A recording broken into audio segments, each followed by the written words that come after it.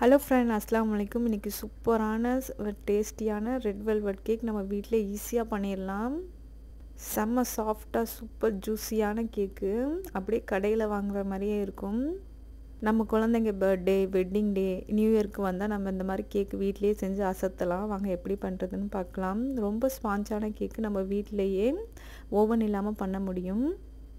அவ்வளோ சாஃப்டாக பர்ஃபெக்டாக வரும். நான் சொல்கிற டிப்ஸ் எல்லாம் ஃபாலோ பண்ணுங்கள் ஃபஸ்ட்டு ஸ்பாஞ்ச் கேக் பண்ணுறதுக்கு ஒரு கப்பு மைதா மாவை எடுத்துக்கோங்க. ஒரு டீஸ்பூன் பேக்கிங் பவுடர் அரை டீஸ்பூன் பேக்கிங் சோடா சேர்த்துக்கணும். கால் டீஸ்பூன் உப்பு சேர்த்துக்கிட்டா போதும். ரெட் வெல்வெட் கேக் பண்ணுறதுனால ரெட் கலர் கொஞ்சம் ரிச்சாக தெரிகிறதுக்காக அரை டீஸ்பூன் கொக்கோ பவுடர் சேர்த்துக்கணும். எல்லாத்தையும் சேர்த்து நல்லா சளிச்சு எடுத்துக்கோங்க. ஒன்றுக்கு ரெண்டு தடவை சளிச்சு எடுத்துக்கலாம். நாலு மீடியம் சைஸ் முட்டை ஒரு டீஸ்பூன் வெனிலா எசன்ஸு சர்க்கரை வந்து முக்கால் கப்பு கரெக்டாக இருக்கும். கொஞ்சம் கொஞ்சமாக சர்க்கரையை சேர்த்து நல்லா பீட் பண்ணி எடுத்துக்கணும். ஒரேடியாக சர்க்கரை சேர்த்தா கரையாது. நம்மளுக்கு முட்டை நல்லா ஃப்ளஃபியாக வராது. அதனால் கொஞ்சம் கொஞ்சமாக சர்க்கரை சேர்த்து நல்லா பீட் பண்ணி எடுத்துக்கிட்டு ஃபைனலாக அரை கப்பு நம்ம மெல்ட் பண்ண வெண்ணெய் இல்லாட்டி ரீஃபண்ட் ஆயில் சேர்த்துக்கலாம். நம்ம சளிச்சு வச்சுருக்கிற மாவை எடுத்து கொஞ்சம் கொஞ்சமாக இதில் மிக்ஸ் பண்ணி எடுத்துக்கலாம். மெதுவாக மிக்ஸ் பண்ணணும். நம்ம பீட் பண்ணி வச்சுருக்கிற முட்டையோட ஹைட்டு குறையாமல் பார்த்துக்கணும். அப்போ தான் நம்மளுக்கு கேக் நல்லா ஃப்ளெஃபியாக வரும். ரெட் வெல்வெட் கேக்குக்கு முக்கியமான ஹீரோ வந்து நம்ம ரெட் கலர் தான். ஆர்கானிக் ஃபுட் கலர் ஒரு டீஸ்பூன் எடுத்து கொஞ்சம் ஃபஸ்ட்டு சேர்த்துக்கிட்டு வேணும்னா நம்ம எக்ஸ்ட்ரா சேர்த்து மிக்ஸ் பண்ணி விட்டுக்கலாம். உங்களுக்கு இந்த கலர் சேர்க்க இஷ்டம் இல்லாட்டி பீட்ரூட்டை நல்லா அரைச்சி ஜூஸ் எடுத்து கூட ஒரு காப் கப்பு இதில் சேர்த்தா நம்மளுக்கு ரெட் வெல்வெட் கேக்கு கரெக்டாக வரும். ஒரு டீஸ்பூன் கரெக்டாக இருந்தது கலர் சேர்த்தது. ரொம்ப ஓவராக கலர் சேர்க்காதீங்க. அப்புறம் கலர் வந்து மாறி வந்துடும் ப்ரௌன் கலராக ஆற மாதிரி வந்துடும் பேக்கிங் பேப்பர் போட்டு ஆயில் க்ரீஸ் பண்ணி இருக்கிற பேனில் சேர்த்து நல்லா டேப் பண்ணி விட்டுக்கோங்க. ஏர் பபிள்ஸ் எதுவும் இருக்கக்கூடாது.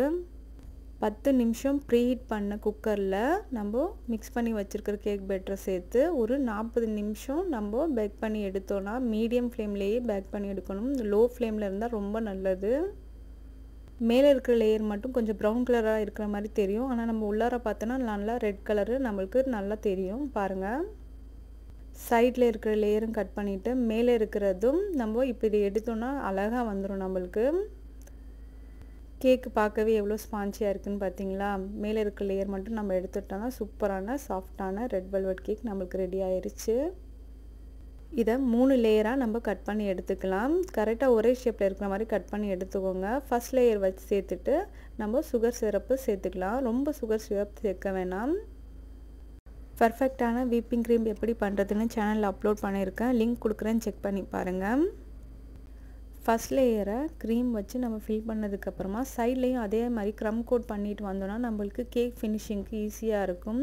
இதே மாதிரி எல்லா லேயரும் நம்ம பண்ணிவிட்டு கேக் க்ரீமை ஃபுல்லாக கோட் பண்ணி ஃபினிஷிங் பண்ணி எடுத்துக்கிட்டேன். ரெட் வெல்வெட் கேக்கை நம்ம ஈஸியாக டெக்கரேட் பண்ணி எடுத்துடலாம்.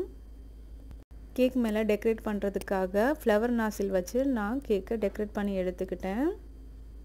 கேக் ஃபுல்லாக இதே மாதிரி டெக்கரேட் பண்ணி முடித்ததுக்கப்புறமா ட்ரை செரி பழம் இருக்கு இல்லையா? அதையும் வச்சு நான் ஃபினிஷிங் பண்ணி எடுத்துக்கிட்டேன். சாஃப்ட்டு ஸ்பாஞ்ச் கேக் பண்ணுறப்போ எக்ஸ்ட்ரா இருக்கிற கேக்கை நம்ம இது மாதிரி தூள் பண்ணி வச்சுக்கிட்டோன்னா டெக்கரேட் பண்ணுறதுக்கு நம்மளுக்கு ரொம்ப ஈஸியாக இருக்கும். கேக்கை மிக்சியில் சேர்த்துட்டு ஒரு பல்ஸ் கொடுத்தோன்னா நம்மளுக்கு இது மாதிரி கிடச்சிரும். ஈஸியாக இருக்கும். சைடில் மேலே எல்லாத்துலேயும் நம்ம ஒரே மாதிரி டெக்கரேட் பண்ணி எடுத்துக்கலாம். ரெட் வெல்வெட் கேக்கு பார்க்க எவ்வளோ சாஃப்டாக இருந்தது சாப்பிடவும் அவ்வளோ டேஸ்ட்டாக இருந்தது. நீங்களும் இது மாதிரி ட்ரை பண்ணி பாருங்கள் எப்படி வந்ததுன்னு கமெண்ட் செக்ஷனில் கமெண்ட் பண்ணுங்கள் இந்த கேக் வீடியோ பிடிச்சிருந்தா லைக் பண்ணிவிட்டு சப்ஸ்கிரைப் பண்ணி வச்சுக்கோங்க. அப்போ தான் நான் போடுற வீடியோ எல்லாம் டிக்டாக்னு உங்களுக்கு வந்துக்கிட்டே இருக்கும். பாய் நெக்ஸ்ட் வீடியோவில் பார்க்கலாம்.